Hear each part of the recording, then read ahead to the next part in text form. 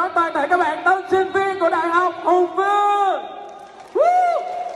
Và xin được gửi lời chào đến toàn thể quý ban giám khảo, quý thầy cô và tất cả các đồng nghiệp của tôi đang có mặt tại hội thi giảng viên giỏi nhiệm vụ sư phạm toàn quốc năm 2020.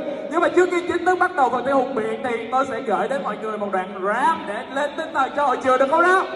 ok here we go. Look at you now, look at me. Look at you now, look at me. You now, look at me. How you like that? You girl did it all, and that's a hurry. Back at chicken back now, Mosu wanna come and come and get some Nakachi man or jump to up chat now. What's up? I'm right back. Mga swearing come back.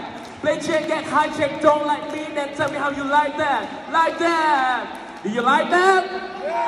Thank you very much. Xin được cảm ơn mọi người rất nhiều và xin được trân trọng giới thiệu tôi là Trần Tuấn Đạt hiện đang là giảng viên ngành quan hệ quốc tế Đại học Quốc tế Hồng Bàng và ngay sau đây thì tôi xin được bắt đầu phần thi hùng biện của tôi với chủ đề nói với sinh viên năm nhất.